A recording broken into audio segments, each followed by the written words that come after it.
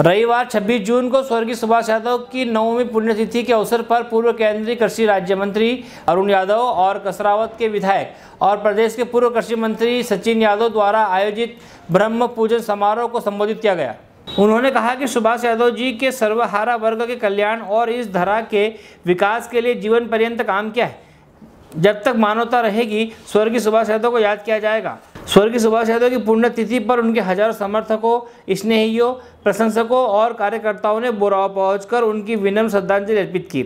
इस अवसर पर बोराव पहुँचे परम पूज्य संत श्री विभूषित श्री रविशंकर जी महाराज। श्री रावतपुरा सरकार ने कहा कि मध्य प्रदेश में पूर्व उप मुख्यमंत्री सुभाष यादव ने अपनी मातृभूमि और कर्मभूमि बोरावा गाँव में शिक्षा का मंदिर स्थापित कर अपनी मातृभूमि के कर्ज को चुकाया है। हम शिक्षा के देवालय में हज़ारों गरीब विद्यार्थी विद्यार्जन कर रहे हैं और अरुण यादव ने भी रावतपुर सरकार और संतों के सुझाव पर आश्वस्त किया कि बोरावा गाँव में जल्द ही विश्वविद्यालय की स्थापना काम पूरा करेंगे। साथ ही यहाँ पर मेडिकल कॉलेज की स्थापना के प्रयास भी शुरू करेंगे। कसरावत से अकिल खान की रिपोर्ट।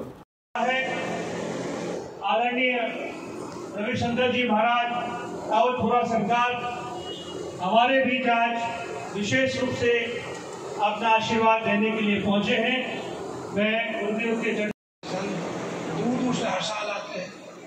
उनकी जयंती, ऐसे व्यक्ति की जयंती से हमें प्रेरणा मिलती है, ऊर्जा मिलती है और काम करने की शक्ति जागृत होती है, इसलिए महापुरुषों की हमेशा जयंती में शामिल होना चाहिए।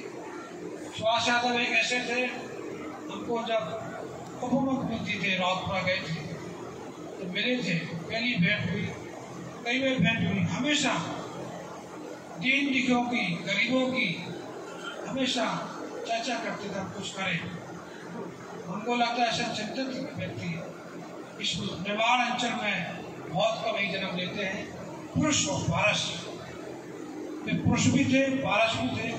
उन्हें हमेशा से सफलता हासिल की आप और हम जो जल ग्रहण कर रहे हैं जो खेत तक जला रहा है तो श्वास यादव की दिन है जल खेत तक चक प्रवर्तन जो हुआ, खेती का जो उपज प्रवर्तन हुआ है। यादव की एक चिंतन थे। हर चीज़ उनने बहुत प्रशंसित किया हम हनुमान जी महाराज से प्रार्थना करते हैं कि अरुण भैया और सचिन नरेंद्र और क्षमता बढ़े, और अच्छे काम जो काम कर रहे हैं, बहुत अच्छा काम करते हैं। लेकिन उनको और काम करने की हनुमान जी महाराज और क्षमता दें जिससे समाज में कुछ और अच्छा काम कर सकेंगे तो पिताजी के सपने थे तो कुछ उनके बताए हुए मार्ग पर है। हर जन तक ऐसी और पहुँचाएँ, जिससे हमने कल देखा ही नहीं बोले हमने कहा, अरुण भैया, ये तो दस साल पहले इसको यूनिवर्सिटी बननी थी। हमारी इच्छा है कि उनके सपने इस गाँव में झोपड़ी का गाँव था, आज बहुत अच्छे अच्छे मकान, अच्छी सड़कें अच्छा रोज़गार अच्छा व्यापार देख के हमारे दिल में बहुत भावना हुई। हम साईं बाबा के यहाँ प्रकृति बाबा के यहाँ गए थे। हमको वहाँ ऐसा ही माहौल मिला था जैसे हम इस गाँव में आए हैं।